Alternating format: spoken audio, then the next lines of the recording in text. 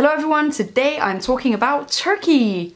No, not that kind of Turkey, the real Turkey. I bet Turkish people have never heard that joke before. Anyways, I really love Turkey, I've been there many times and it's definitely one of my favorite places to go on holiday. The country is located mostly in Western Asia, but also in Southeast Europe. So what, one continent wasn't enough for you guys? The first important fact about Turkey is that it's not called Turkey at least officially. It's actually called the Republic of Turkey. So the Republic of Turkey and the Turkish people of the Republic of Turkey. no, I'm just kidding. I'm not gonna do this for the rest of the video. Anyways, a cool thing about them is that they've taken equality for women very, very seriously throughout history. And it was actually one of the very first countries to give women the right to vote. Women could in fact vote in Turkey before they could in the United States and many other European countries. So thanks Turkey. Thanks for giving me the right to vote. Yes, I know I have the voice of a man, but I'm still a woman on the inside. now, Turkey is very well known for the wonderful city of Istanbul. Istanbul has been the capital of three empires, the Roman, Byzantine, and the Ottoman Empire. Whoa, you've been around, haven't you, Istanbul? However, contrary to what many people think, Istanbul isn't the capital of Turkey, because the capital of Turkey is Ankara, so Istanbul can't be the capital.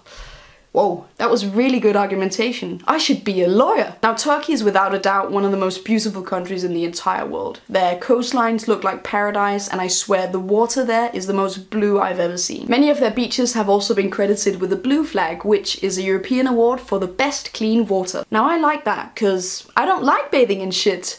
Believe me, I've tried it. It's no good. you heard it here first. Turkey has a very rich history, and in my opinion, it's one of the most interesting in the world. Two out of seven of the ancient ancient world wonders can be found in Turkey. The Temple of Artemis at Ephesus and the Mausoleum of Halicarnassus. Fun fact by the way, the ancient city of Troy was located in modern day Turkey. Troy, the movie that taught me that horses can sometimes be filled with men that will try to kill you.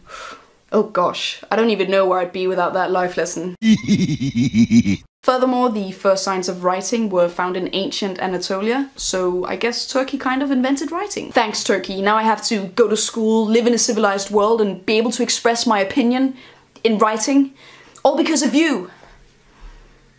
Thank you. Of course, you can't talk about Turkish history without talking about one of the greatest Turks of all time. I am of course talking about Ataturk, who was the founder of the modern Republic of Turkey as we know it today. He was also an important contribution to the Tur Turkish education system by building schools and making primary education free and compulsory. Ataturk was also important in giving women equal civil and political rights. The Turkish people were so fond of all the amazing things he did that there are pictures of him everywhere. So if you ever go to Turkey and you see see the same picture of the same man everywhere, it's most likely Ataturk. Now one thing the Turkish people take very seriously is their dessert. One might even say that the Turkish people are masters of the art of making desserts. They have amazing ice cream, honey, kebab, although that's not a dessert, but it should be. The Turks are also very famous for their Turkish coffee, although it should be said that the Turkish people actually enjoy tea more than coffee. And did you know that Santa Claus apparently was born in Turkey?